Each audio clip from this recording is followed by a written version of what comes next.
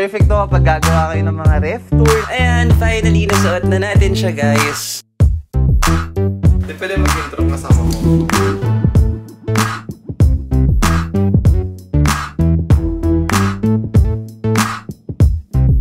I-haul na natin yung mga yon kasi...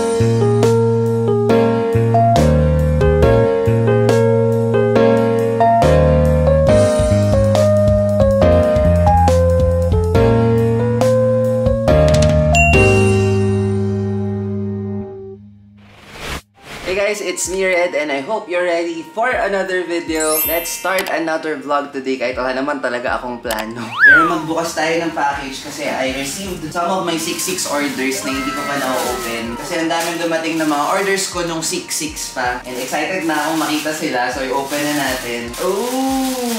Ooh! Usong-uso to sa Pinas ngayon. These are KF94 masks. Ito yung mask na ginagamit ng mga favorite kong vloggers na pinapanood lately like sila Rai, sila Hazel, si Ray, si Jamie. Sobrang addict ako sa vlog sila lately. Tapos although yung ginagamit ko na mask dito sa Singapore for the longest time ay yung Uniqlo na Airism masks. Wala, nainggit lang ako. So gusto ko i-try ito kasi ang cute nila compared sa regular na disposable masks. Pero ayan, I just got two. Isang black tsaka isang beige yata. No, white pala siya. Hindi pala siya beige. One pack contains 10. Pero may nakita ako na mas marami. Parang pack of 50 yata. Pero gusto ko lang naman nga siyang itry. So, konti lang yung kinuha ko. Oh! So, ganito pala itsura niya. Tapos, gaganyan mo siya. So, ayan siya. Nakakatuwa. It fits my face naman. Kala ko kasi maliit siyang magiging tingnan sa mukha ko. Ang cute. Tapos, mas komportable din siya compared dun sa mga regular na surgical or clinical masks. I like this. Siguro kunin ko yung beige din and yung other colors. Itong sinukat ko, gagamitin ko na lang later kasi lalabas kami mamaya nila Jen. OMG, hindi ko pa pala nasasabi sa inyo. Oo nga, lalabas tayo mamaya. Kasi today is June 15. Kasi nasabi ko sa inyo nung na-start yung lockdown. Hanggang dalawang tao lang yung pwedeng lumabas, di ba? Ngayon, up to 5 na pwede. So pwede na kaming lumabas as a group nila Jel, Jelik, and John with Mark. Pero bawal pa rin mag-dine-in. Yung dine-in magiging allowed lang sa 21, which is Father's Day. So dito pa rin kami magdi-dinner tonight. Pero pwede nang lumabas. Magmo-movie kami mamaya. Kagabi hindi ako nag-vlog pero nanood kami dito sa bahay. Pinanood ulit namin yung A Quiet Place Part 1 kasi ako, si Jel, tsaka si John napanood na yon Si Mark at si Jelik sinamahan namin manood, mag-rewatch dito sa bahay nga. So mamaya, papanoorin namin sa sine yung Part 2 which is very exciting kasi ang ganda-ganda talaga ng movie. 3 or 4 years yata in the making yung Part 2 so nakaka-excite siya. But anyways, ito yung gagamitin kong mask later since nasukat na natin siya. Ooh! May pinrovide din pala sila na ganito. Usong-uso rin to ngayon sa Pinas eh. So basically, lalagay mo dito yung ends ng mask mo. Ayan, para kapag di mo gagamitin or kakain ka, which hindi naman pwede ngayon technically. Pero kung gagawin mo yun, ayan, nandito lang, nakasabit lang yung mask mo. Tapos kapag susuotin mo siya, ayan, ganyan lang siya. Nakakatuwa. Yehey, actually umorder din ako ng ganito. Pero hindi pa sila dumadating. Yung in-order ko na strap parang silver and gold para medyo dressy naman. And then ito, ooh, super excited ko dito guys, OMG. Kagaya na sabi ko na addict ako sa vlogs nila Rai, nila Hazel lately. Tapos may mga shots sila na parang nung una sabi ah, paano nila nagagawa yun? Kasi habang nag-aayos sila ng gamit or nagluluto, yung dalawang hands nila nasa harap ng camera. Tapos inisip ko, paano nila nagagawa yun? Hanggang sa nag-search ako ng mount for the neck. And I found this on Shopee. Lahat ng mga Shopee finds ko, ilalagay ko na lang again down in the description box. So if you're also interested to purchase, click nyo na lang yung links. It will be easier for you. This particular one is a neck mount for GoPro. Pero pwede rin sa phone. And wala naman tayong GoPro. So I'm planning to use this for our phone. Teka lang, i-figure out natin. So ayun, ganyan yung itsura niya. Pero may attachment din na kasama for the phone. Figure out natin to together. Kasi hindi ko pa natatry. Sana mag-work. Papalitan ko lang yung attachment niya para sa phone. Ayan! So ayun, nakakonect na yung phone ko. And dito mo lang siya ilalagay na ganyan. So ayan, again, we are using the iPhone 12 Pro Max. And feeling ko ang weird dito tingnan or hindi ko alam kasi hindi ko naman siya nakikita. Pero punta tayo sa ref para magpakita lang tayo ng sample sa inyo. Ayan, perfect to kapag gagawa kayo ng mga ref tour, nag-organize kayo ng ref, nagluluto, ganyan. Sana na-appreciate nyo, nakukuha nyo ba yung vibe, yung feels na gusto kong mangyari. Pero ang perfect nito when doing montage clips talaga. Oh, eh, pinapanood ko yung clip ngayon. Guys, ganito yun. Ganito yung gusto ko ma-achieve. Nakakatuwa. Sobrang cool. Ang mura lang nito. Alam niyo ba, nakuha ko lang to for like $10 yata sa Shopee. Again, I'll be linking it down in the description box. Kung may GoPro kayo or kung gusto niyo rin ng ganong shots using your phone, get this one. Sobrang nice niya, guys. And our last package for today. Medyo marami pa akong ina-expect na package. Sabi, sobrang laki ng box, pero ito lang naman yung laman niya. I also got this from Shopee. These are actually not for me. Binili ko to para kay Mami. Kasi di ba papadala tayo ng balikbayan box. And isa to sa mga, alam ko ma-appreciate ng Mami ko kasi ever since, ito na talaga yung ginagamit niya. Ayan, I just got her some skincare. Ito yung brand na nakalakihan ko na ginagamit ng Mami ko. Yung Olay, ayan, this is the Regenerist to Weep. And yung moisturizing lotion. Naka-promo to ng 66 sa Shopee. So, biling ko na lang din. Pero sabi ng Mami ko, sobrang effective nito sa kanya. This is not in any way sponsored, guys. Binili ko lang talaga para sa Mami ko. So, ayun, mag-chill-chill muna tayo siguro. And mamaya nga, manonood kami ng movie. And sasama ko kayo siguro, pero of course, hanggang labas lang kayo ng sine. Update, so nandiyan na sila, Jel. Si Mark nasa labas na din. Hinihintay na lang namin si Jelique kasi nasa kanya yung food. Siya yung bumili ng dinner namin tonight. Bumili siya ng Four Fingers. Pero magbibis na ako kasi anong oras na, Beshi? Magsi 7.20 na yata. 8.30 yung movie namin. Eh, kakain pa kami ng dinner. So, kailangan pagdating ni Jelique, kain, tas alis na agad. So ito na lang sinuot ko. Kung maalala niyo, sinuot ko to last Christmas. Nung nag-staycation tayo, pero one time ko pala to nasusuot. Oh, tsaka nung second time pala nung nag-film ako nung What Happened to Me last 2020 na vlog. So this is the third time I'm wearing it. Sayang kasi. Ayan, nag-accessorize lang ako. Na-miss ko si Dayan. Cream shorts and ayan, finally nasuot na natin siya, guys. So mabibinyagan na natin to kasi naisip ko mag-grab naman kami. Hindi siya masyadong marurugyan kasi hindi tayo maglalakad. Tsaka nilagyan ko naman na to ng Prep Protect so we're safe. So, eto na yung binili ni Jalik. Four fingers lang ulit kami for dinner. And, ayan, nagsaing ng rice para meron tayong rice. Yummers, kain tayo!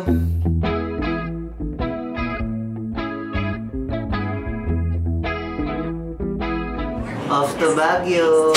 Ba Baguio yan? Lahat ng sweatshirt. Bagyo na to. Lahat kami nakapanglamig. Sino ba nagpasimuno? Ewan mo nga din ba? Ayan, no? Lightning stricken cactus and it starts to rain. The smell of steamed asphalt scented Novocaine. Nature's brew of all kinds of things. The mountain sunk hills, sky color schemes. Makes you. So, tapos na yung movie! Yay! Sino kaya yung kasama ni John kanina? Diyan lang ang masaya ngayon. Oo nga, grabe. Nagulat na lang kami. Anim pala kami. Uy, hanggang five lang pwede magkakasama eh. Tapos biglang pinatakbo agad. Kuya, ang full details mamaya na lang pagdating sa May bahay. video kami, may video. Pero ang ganda ng movie, no? Na-enjoy mo ba? Naintindihan mo ba dyan? Paano niya maintindihan? Iba na ilang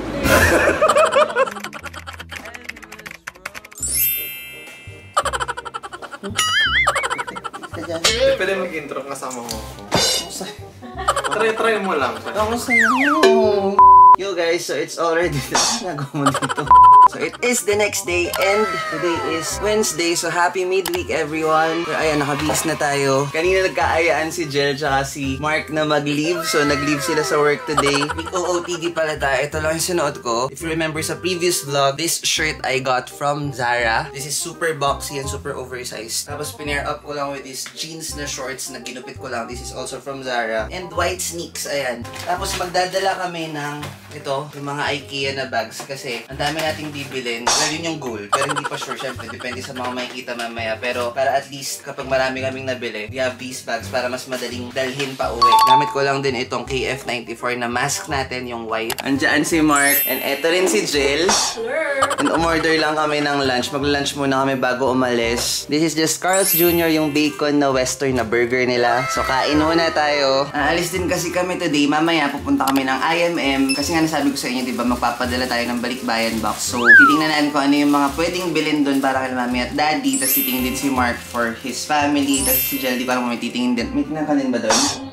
Kung titingin din siya sa IMM. So that's one. Tapos kailangan ko rin ibalik yung in-order natin from Cotton On kung napanood nyo sa last vlog natin. Kasi in-order nga namin yun online. So hindi ko siya nasukat. Although small yung binili ko na size, turns out ang laki pala niya. Ang laki ng sizing ng shirts na yun. So ibabalik namin. They do offer returns and exchange na sa store kahit sa online mo binili yung items mo. So idadaan namin yun mamaya sa Cotton On store. Tapos, kung may time pa mamaya, daan din tayo sa Fair Price Warehouse something. Basta yun, di ba? Sa Warehouse siya ng Fair Price. So, mukha siyang SNR. Basta makikita nyo. Nakapunta na ako doon pero hindi pa ako namili doon. So, hindi ko pa alam anong meron doon. Sabi ni Jel, marami daw mura. So, ayun. Pero kaya nga muna tayo kasi gutom na din lang.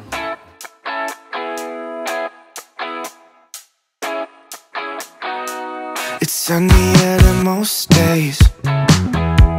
You'll never see the sky if you keep looking down. And if you take the wrong way, maybe you should stay instead of turning around. So, what you keep Ayan, nandito na tayo sa IMM, guys. Shopping yarn. Ngayon, nag-usap kasi kami nila, Mami, a few days back. Tapos ang dami lang gusto ipabili. So, tingnan natin kung ano may bili natin dito. So, ayan, pila muna kami ngayon sa coach. okay? Don't stay looking out the window. And how late do you plan on going nowhere? Afraid of all the things you don't know. There's so many reasons you should care. Don't stay looking out the window. And how late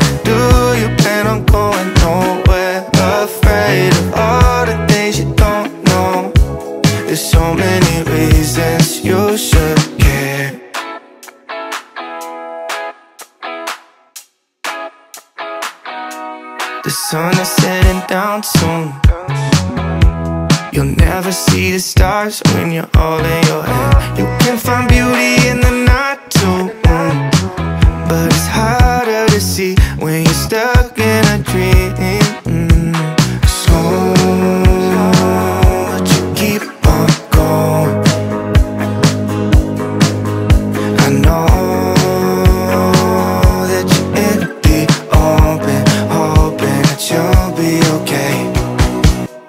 Don't stay looking out the window. And how late do you plan on going nowhere? Afraid of all the things you don't know. There's so many reasons you should care. Don't stay looking out the window.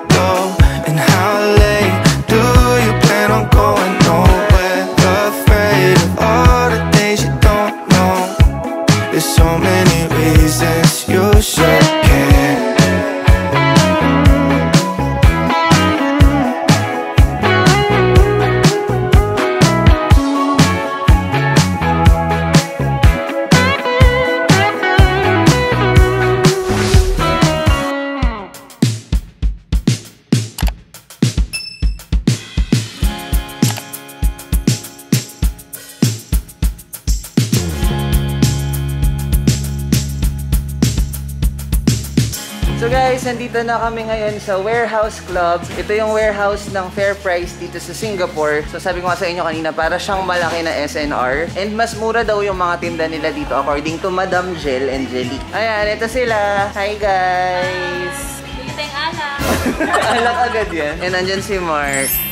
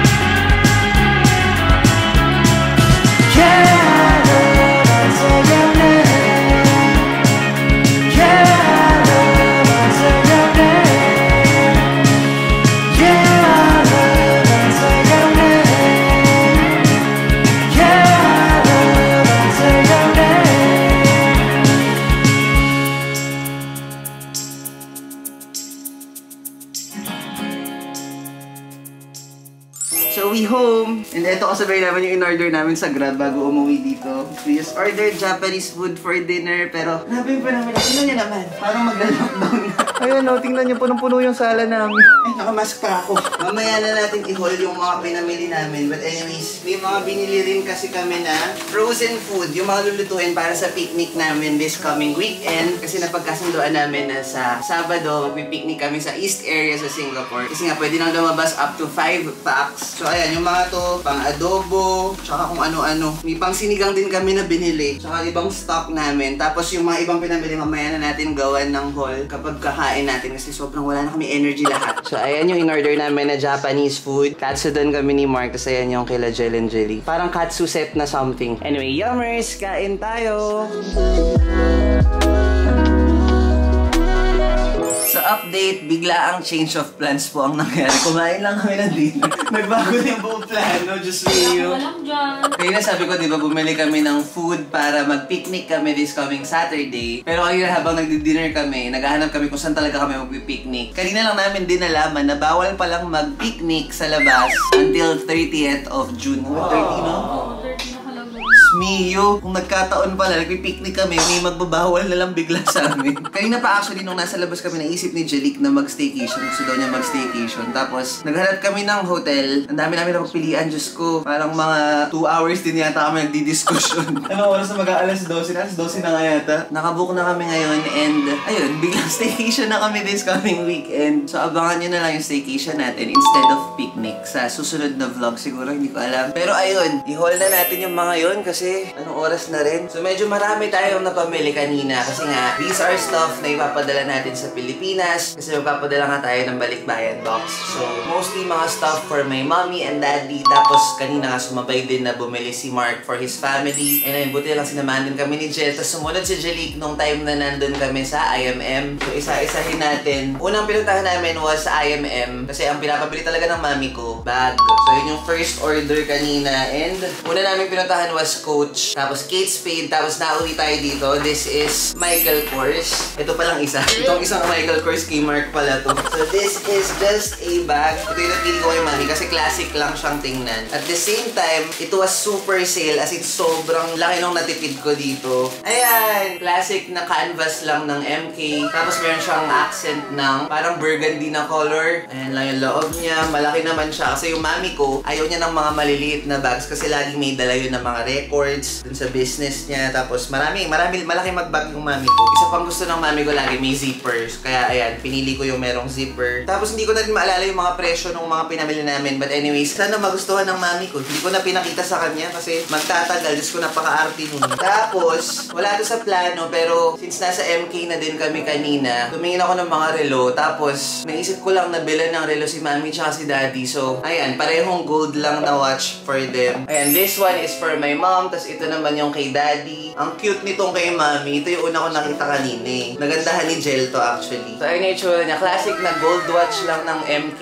Yung unique sa kanya, meron siyang mga studs-studs dito. Parang Valentino inspired. Nakakatuwa. Ang cute niya. Then, yung sa daddy ko naman, ayan. Mahilig din kasi sa gold yun si daddy kung di niya natatanong. Gold lang din yung face niya. Tapos, ayan, gold tone din pati yung wrist strap niya. Classic MK lang din. Tapos, grabe, naka 60% off yata to. So, hopefully, ay magustuhan naman nilang dalawa to. Ano po? Kaya nagpaalam naman tayo, no? Ito yung binili naman ni Mark for his family. Ito yata sa mom niya. Ayan, so twinning na yung mommies namin. kasi halos same lang din. Mas maliit lang tong binili ni Mark for his mom kasi ayaw daw ng mom niya ng malalaking bags. Sobra. Tapos brown lang yung accent nito, yung kay mommy burgundy. And then, para naman sa sister niya, ala sobrang balot na balot siya. Babalik ko na lang. Ayan. So, ganyan lang yung itsura niya. Ang nice. Tapos, the next thing that I got is from Converse. Actually, nagtitingin sana ako ng Converse para kay daddy. Kaya lang, Converse ko yung nabili ko, beshi. Bumili din si Jelik pala. Nandito pa yung kay Jelik. Ito yung kinuha ni Jelik. Yung classic lang na white na low top. Tapos, yung sa akin naman, ayan. White din na low top, pero yung medyo may platform. Actually, women's pair to. Pero, hindi naman siya mukhang women's din. Mas mataas lang siya ng konti. Alam niyo naman, height is life. Ayan, ito yung classic, yung kay Janique, tapos ito yung sa akin. Para may konting height, additional height. Pero ang ganda nito, promise, kapag suot. Tapos dumaan din kami ng Crocs, and ito kasi yung request ng daddy ko talaga. Nung tinanong ko siya kung anong gusto niya, sabi niya, gusto niya ng shoes ng Crocs. Kasi last na uwi ko, ito rin yung isa sa pasalubong ko sa kanya. Tapos nagustuhan niya kasi comfortable naman talaga to. Tapos maganda daw siyang ipang drive, sabi ni daddy. So ayan, yung huling binili ko sa kanya was parang kulay beige. Tapos ayan, dark blue naman ngayon para lang meron siyang ibang pair naman. Tapos meron kasi silang ongoing promo. Yung second pair na bibilin mo ay parang 20%